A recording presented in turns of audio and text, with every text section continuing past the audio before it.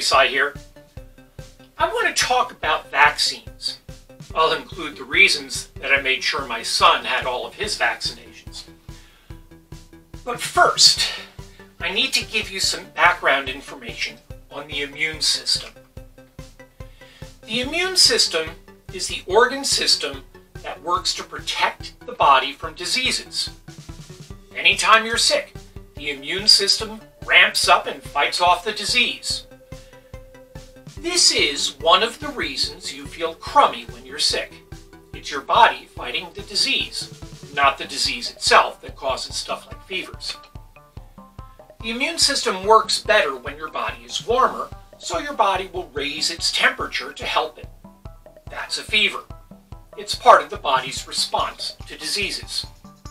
But one of the main functions of the immune system is right there in the name to give you immunity to diseases. Being immune from a disease means you won't get that disease in the future. Part of the benefit of fighting off a disease is becoming immune to that disease in the future. After recognizing that you have a disease, the immune system makes antibodies for that specific disease. The antibodies stick to the disease or diseased cells and are flags to tell the other immune system cells where to attack.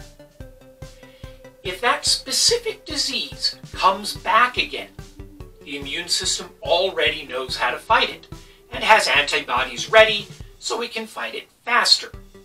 Fast enough that the disease isn't a problem and you don't get sick. So being immune to a disease means that your immune system can fight it very quickly. There are two ways to get immunity from a disease. The first one is simply by having the disease. But diseases are dangerous and sometimes can kill, so this isn't a good solution, especially for dangerous diseases. But this used to be a common way to deal with chickenpox. Chickenpox is more severe in adults than in children.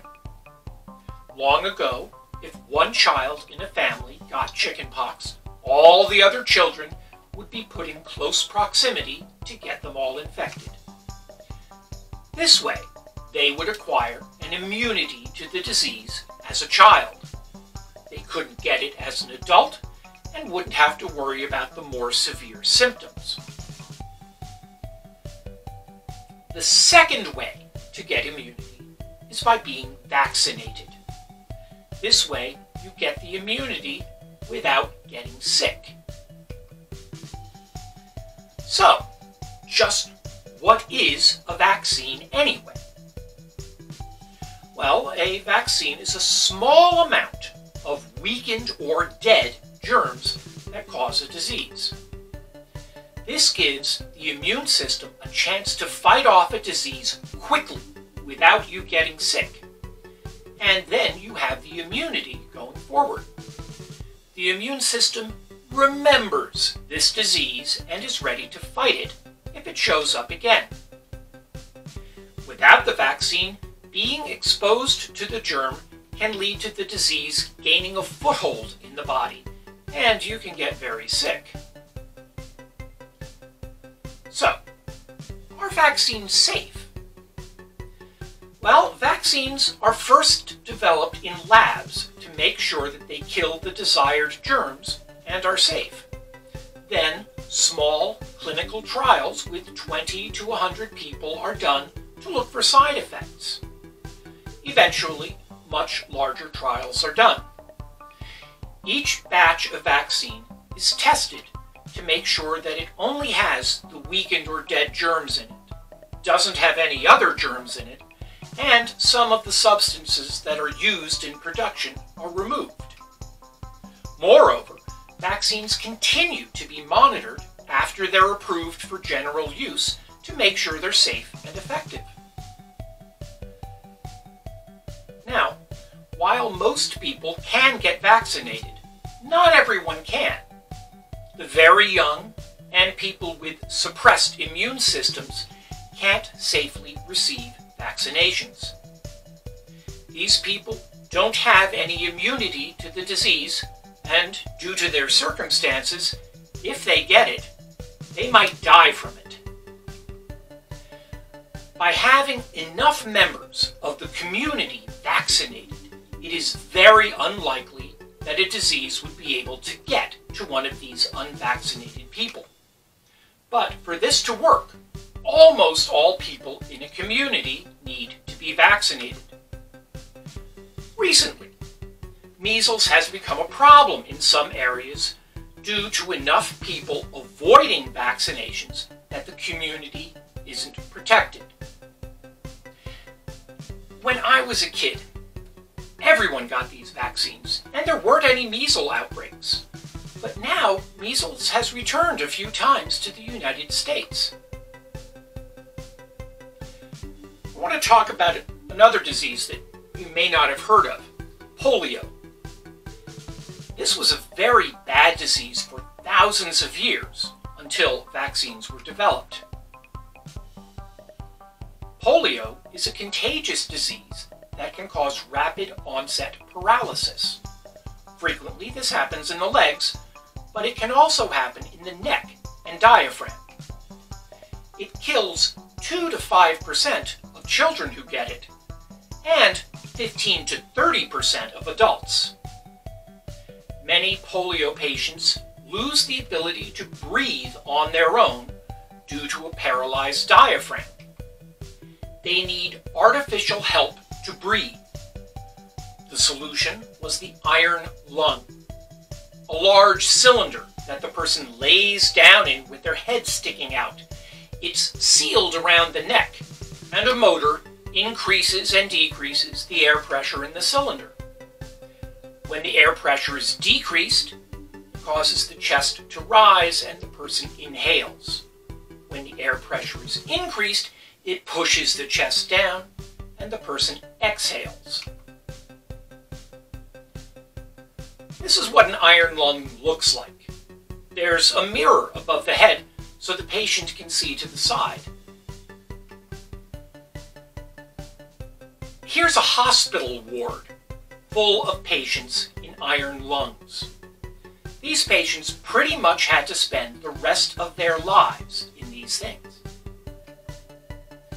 In 1955, Jonas Salk developed a vaccine for polio. Look at this graph. In 1953, there were 35,000 cases in the United States. In 1957, that had dropped to 5,600. In 1961, only 161 You can barely see the line. Six years after the vaccine was developed, the rate at which people contracted polio was 0.46% of where it was before. Today, polio is so rare in the US that we don't think about it at all. Well, doesn't Big Pharma make loads of money from vaccines? Well, they make some money but that doesn't make vaccines bad. In 2018, the amount that pharmaceutical companies made from their top three drugs was more than what they made from all the vaccines they sold combined. So, they make some money, but not boatloads. If you're looking for how they could make more money, then vaccines are bad for pharmaceutical companies. One case of measles could make Big Pharma $56,000 in profit. The cost of one vaccine that prevents that? $21. But what about the side effects from vaccines? Well, all drugs have side effects. Most are minor, a sore arm or a slight fever that lasts a few days. Remember, you get the immunity by your body fighting off a very weakened or dead version of the disease. Fever is a symptom of your immune system building up its immunity. See this site for more information on side effects from the CDC. About mercury in vaccines? First, the type of mercury used making vaccines is ethyl mercury, which is pretty safe and your body clears it out pretty quickly. Starting in 1999, they removed ethyl mercury from all childhood vaccines in the US. Some multi-dose vaccines and the flu vaccine may include ethyl mercury, but not a dangerous amount. The dangerous mercury is methyl mercury, which accumulates in the body. It takes over five times longer to clear out than ethyl mercury. This is the one that can lead to mercury poisoning. Methyl mercury is not used in making vaccines, nor does it appear in any vaccine.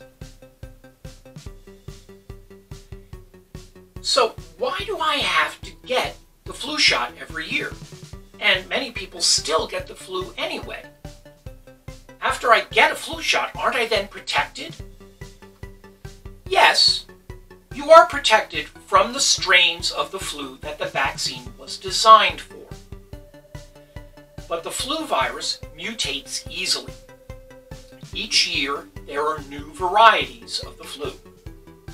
Scientists work hard to predict what versions will be most common this year and make the vaccine to protect against those. But these are predictions. Many times, there's a new variety that the vaccine isn't made for.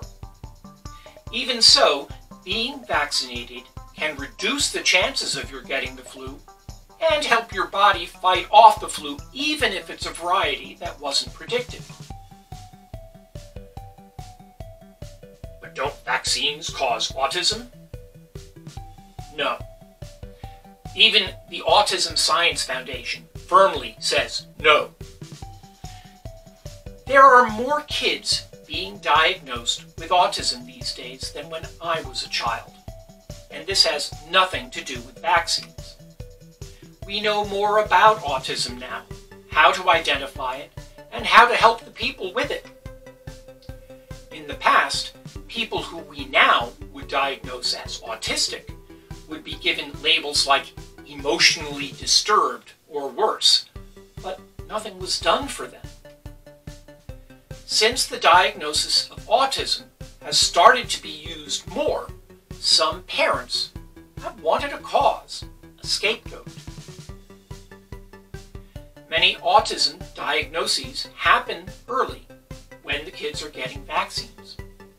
But just because the diagnosis and the vaccines happen around the same time doesn't mean they're linked. Correlation doesn't imply causation.